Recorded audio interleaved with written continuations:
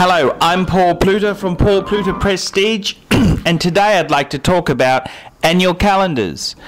And uh, what I'd especially like to talk about is the first incarnation of the Patek Philippe annual calendar, which is the uh, 5035, and the the replacement. What I would say is the the current model Patek Philippe annual calendar, which is 5146. And uh, basically, the, uh, they're both beautiful annual calendar pieces. And uh, I, I really would like to just discuss is the new current version better than the original interpretation? And uh, I've got to say, you know, what is the differences between the current and the, the original? Well, the current model is slightly bigger. The case is 39 mils, whereas the original 5035 was 37 mils.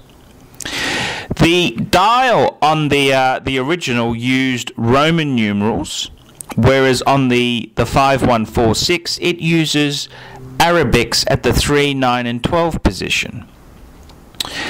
Um, as far as the the pieces go, the movement itself in the original 5035, it uses a 315 based movement. Whereas the current model, that's 5146, it uses a 324 movement, which is basically the later interpretation of the 315 Patek movement. So the, the movements are quite similar. A very obvious change is the change that occurred to the dial and, uh, and some functionality. The original 5035 featured an AM PM indicator um, at the sixth position, and uh, that's now been replaced by a moon phase function. And they've they've also they've put in a power reserve feature at the 12th position, which the original 5035 never had. Now, looking at these pieces here, which piece is the better of the two? And I mean, look, in modern times, you, you definitely would pick the current, the 5146.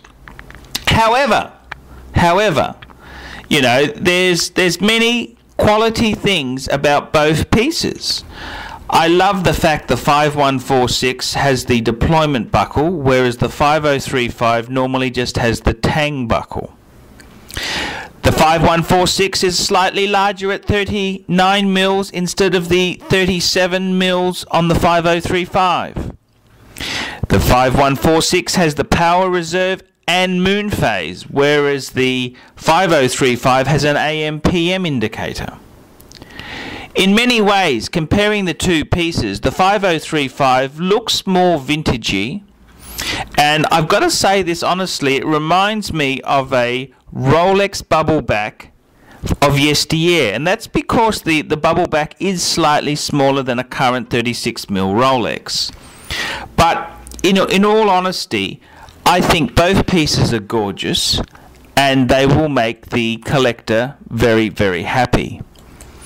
And the, the wonderful thing about the the Patek annual calendar is it uses a completely in-house movement, unlike some of the other Pateks which use Lemania based movements.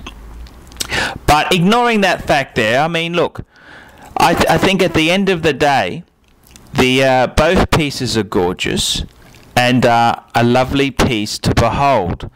They are a dress watch and they can be worn for many different occasions. The modern trend has gone towards bigger pieces. But, in all honesty, I think the 5035 is represents excellent buying because the prices currently that this piece is available for are at an all-time bargain. And these prices must improve because just recently in a antiquorum auction held in New York, a rose gold 5035 with box and papers recently sold for 35,000 US dollars. And I think the 5035 in the next 10 to 20 years will climb back up and be almost identical to the current version of the annual calendar. This surely represents excellent buying if you can obtain a mint example of the 5035 in astronomical condition. I'm Paul Pluta from Paul Pluta Prestige. Tell me what you think of these two beautiful annual calendars.